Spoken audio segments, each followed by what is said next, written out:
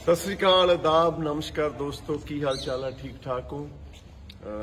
ਕਾਫੀ ਬਾਹਰਲੇ ਟੂਰ ਲਾ ਕੇ ਸ਼ੋਜ਼ ਵਗੈਰਾ ਕਰਕੇ ਤੇ ਹੁਣ ਪਿੰਡ ਗੇੜਾ ਲੱਗਿਆ ਤੇ ਬੜਾ ਆਨੰਦ ਆਇਆ ਜੀ, ਰਾਤ ਪਿੰਡ ਰਹੇ।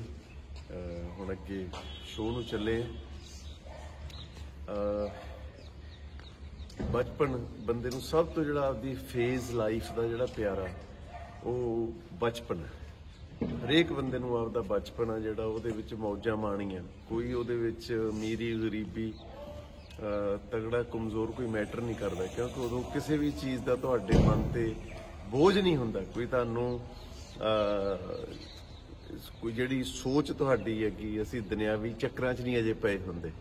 ਤੇ ਬਚਪਨ ਦੇ ਵਿੱਚ ਤਾਂ ਬੰਦਾ ਮਸਤ ਮਲੰਗ ਤੇ ਬੁੱਲੇ ਲੁੱਟਦਾ ਤੇ ਸਾਡਾ ਵੀ ਇਹ ਘਰੇ ਵਿਹੜੇ ਦੇ ਵਿੱਚ ਇੱਥੇ ਬੜੀਆਂ ਦੀਵਾਲੀਆਂ, ਜਦੋਂ ਸਾਰਾ ਪਰਿਵਾਰ ਇੱਥੇ ਵਸਦਾ ਸੀ, ਮੇਰੇ ਮਦਰ ਜਿਉਂਦੇ ਸੀ, ਬੜਾ ਇੱਥੇ ਆਨੰਦ ਮਾਣਿਆ।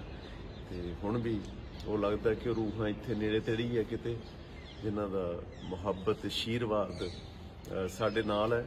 ਤੇ ਬਸ ਮੇਰੀ ਤੁਹਾਨੂੰ ਸਭ ਨੂੰ ਗੁਜ਼ਾਰਿਸ਼ ਹੈ ਕਿ ਦੁਨੀਆ 'ਚ ਅੱਗੇ ਵਧੋ ਫੁੱਲੋ। ਜਿੱਥੇ ਵੀ ਪੰਜਾਬੀ ਗਏ ਨੇ, ਜਿੱਥੇ ਵੀ ਇਹ ਜਾਣ ਪੰਜਾਬੀ, ਨਵਾਂ ਪੰਜਾਬ ਵਸਾਉਂਦੇ ਨੇ, ਹੱਕ ਸੱਚ ਦੀ ਕਰਨ ਕਮਾਈ ਨਾਮ ਗੁਰਾਂ ਦਾ ਧਿਆਉਂਦੇ ਨੇ।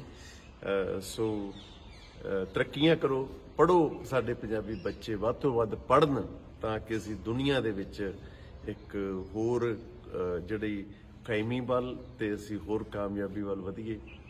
ਲੇਕਿਨ ਆਪਦੀਆਂ ਜੜਾਂ ਜਿੰਨਾ ਕੁ ਵੀ ਉਹਦੇ ਨਾਲ ਜੁੜ ਸਕਦੇ ਹੋ, ਹਮੇਸ਼ਾ ਜੁੜ ਕੇ ਰਹੋ। ਜੁਗ ਜੁਗ ਜੀਓ, ਮਾਲਕ ਤੁਹਾਨੂੰ ਸਭ ਨੂੰ ਤੰਦਰੁਸਤੀ ਦੇਵੇ, ਸਦਾ ਚੜ੍ਹਦੀ ਕਲਾ ਹੋਵੇ, ਜੀਵੇ ਪੰਜਾਬ, ਪੰਜਾਬੀਆਂ ਦਾ ਮੋਹ ਮੁਹੱਬਤ, ਇਹ ਸਦਾ ਸਲਾਮਤ ਰਵੇ ਬਹੁਤ ਮਿਹਰਬਾਨੀ ਜੀ। ਮਿਹਨਤ ਮੇਰੀ, ਰਹਿਮਤ ਖੁਦਾ ਦੀ। ਮੁਸਲਮਾਨੀ ਰੂਹਾਨੀ ਅਤੇ ਕਾਲੇ ਇਲਮ ਦੇ ਮਾਹਿਰ। ਚਮਤਕਾਰ ਹੁੰਦੇ ਦੇਖੋ ਆਪਣੀਆਂ ਅੱਖਾਂ ਸਾਹਮਣੇ। 100% ਗਾਰੰਟੀ ਨਾਲ ਪਾਓ ਹਰ ਪਰੇਸ਼ਾਨੀ ਦਾ ਹੱਲ। ਪਤੀ ਪਤਨੀ 'ਚ ਝਗੜਾ ਸੌਤਨ ਦੁਸ਼ਮਣ ਤੋਂ ਛੁਟਕਾਰਾ, ਤਲਾਕ ਕੇਸ। ਵਿਦੇਸ਼ 'ਚ ਪੱਕਾ ਹੋਣਾ। ਜਾਦੂ